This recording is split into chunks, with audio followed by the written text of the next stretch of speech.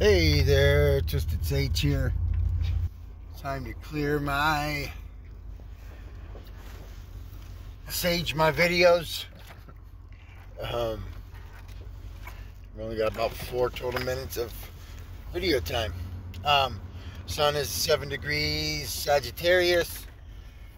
Uh, the moon is three degrees Cancer. Mars is three degrees Sag. It's a hell of a quincunxing energy.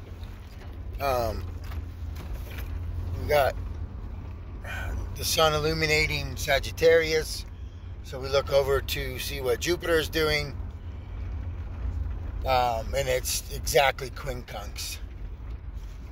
So you're not going to quite see the angle on the resources you need or the resources you're trying to expand on. Um, getting real close to uh, Mercury and Capricorn. We are in the shadow period. So, expect kinks. So, this is a super day of adjustment. Mars is going to be holding this quincunx monk. The Mars quincunx to Jupiter is building up, but you're feeling it from the moon right now. Again, the quincunx I always look at, for me, I look at as an angle that is difficult to see. And it's definitely known for constant adjustment.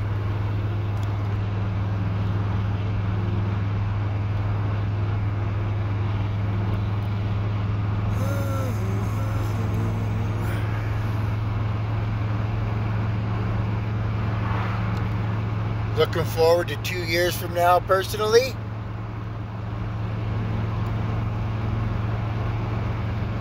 Uh, fuck, I want to might be right around actual Christmas.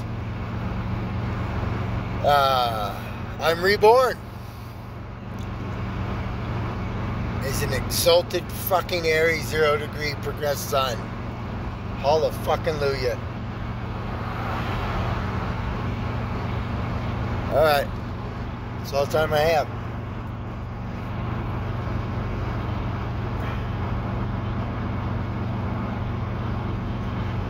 Flow the experience.